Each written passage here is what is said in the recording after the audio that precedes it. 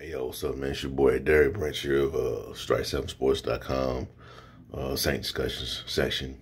I just want to talk about some uh, few uh, news and notes that went down today with the uh, New Orleans Saints, and that's concerning um, defensive tackle David Onyemata.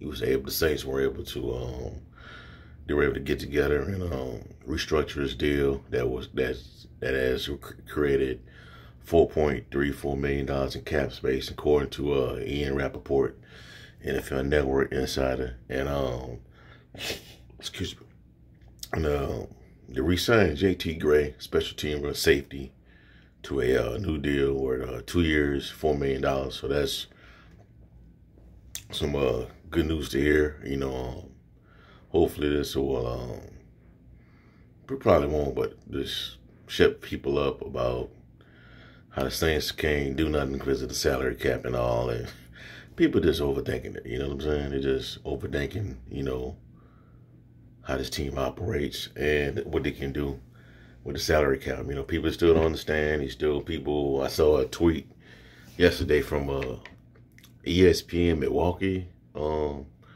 station uh, tweet talking about how uh, it's going to be like Thanos clicking his fingers, and then the Saints gonna be a whole different football team next year.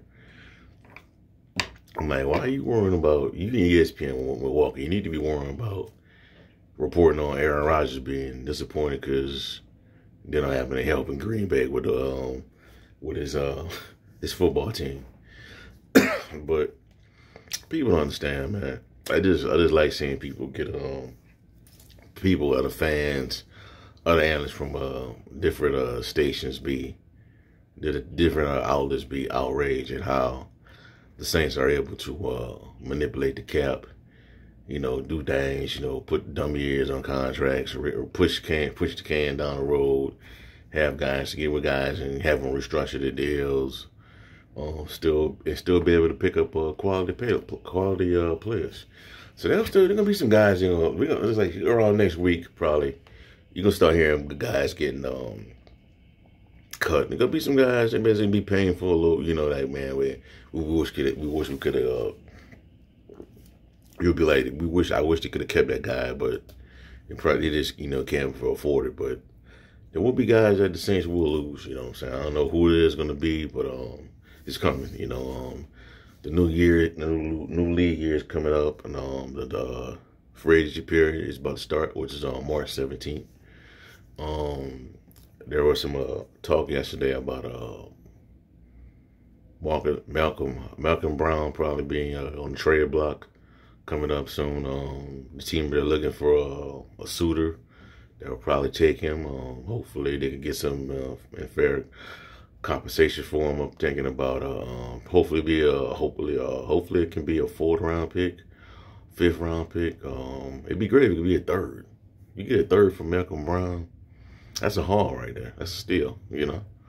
But um, we'll see how it goes, man. That's um the latest on that. Uh, Malcom Brown on the trading, possibly be on the trading block. Uh, been on uh, coming to some type of uh restructure with his deal. Um, JT Gray resigned for uh, two years, four at four million.